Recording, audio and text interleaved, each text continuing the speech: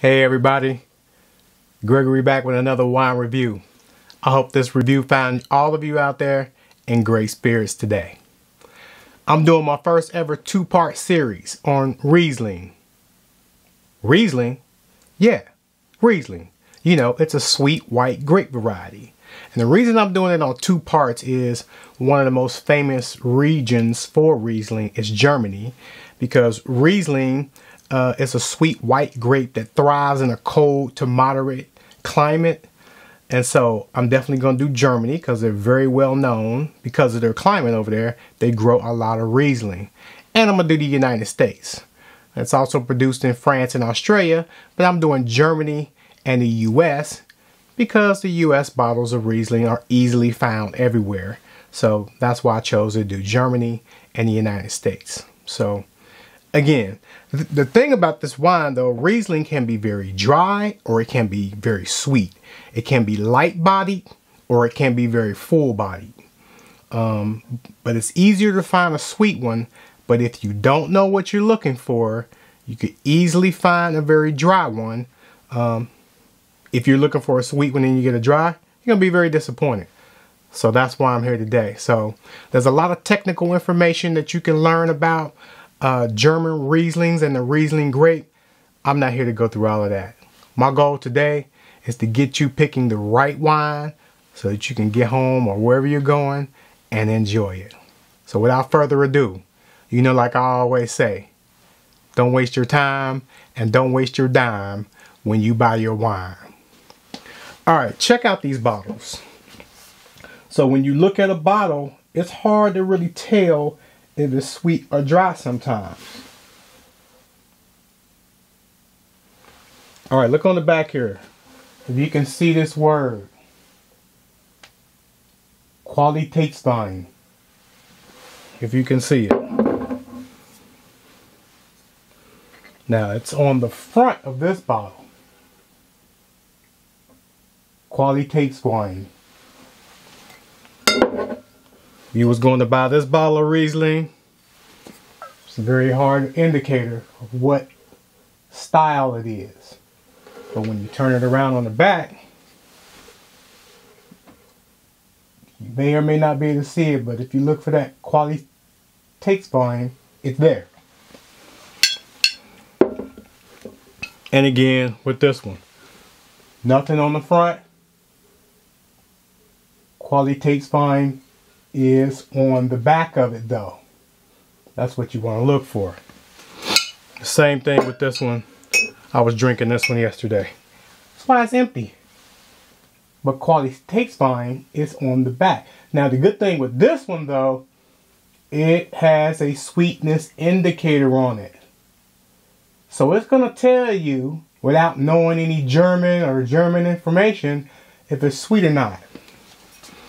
Now, Qualitätswein, that means that that wine has to be sweeter than the regular Riesling.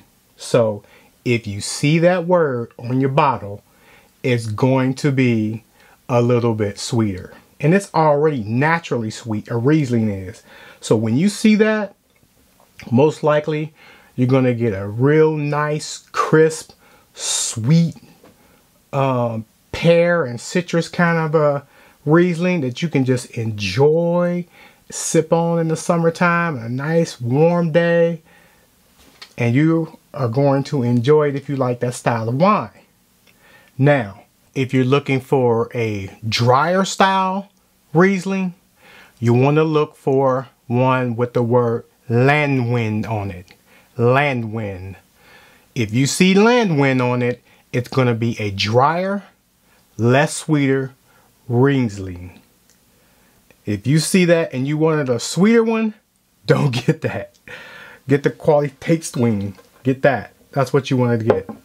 So uh, I got two styles that I'm going to taste real quick and then we're going to see what they're like.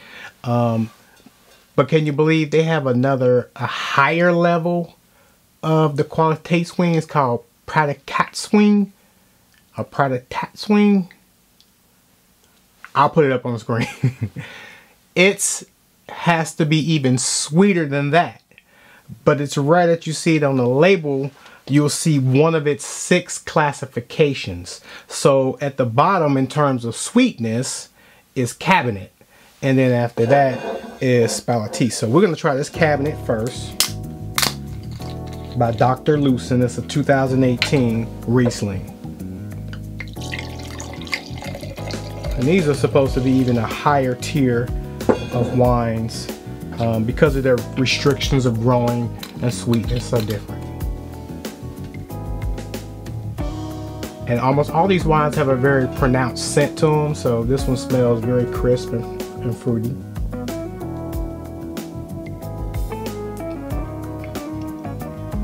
Yeah, very sweet. it's very good and very crisp.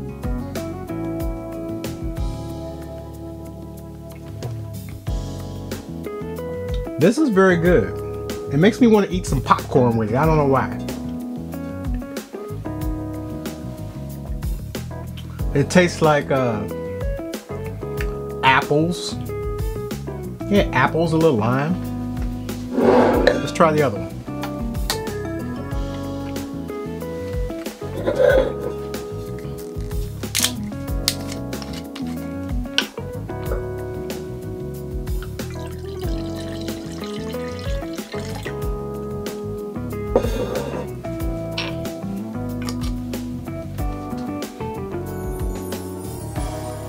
This one has a very different scent to it. it smells like uh, minerality mineral rocks. Mm, mm. Oh yeah. Now this, this is outstanding. It's much more fruitier. It is a little sweeter, sweeter, but it's a fuller body. Um, and I can taste like an apricot. I can taste um, melons, um, a little apple in there. It this is fabulous.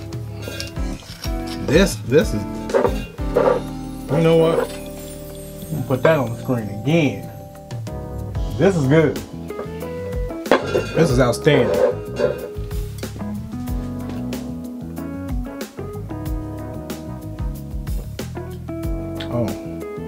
Nice. So, Riesling. It's a very sweet white grape, very crisp, very refreshing.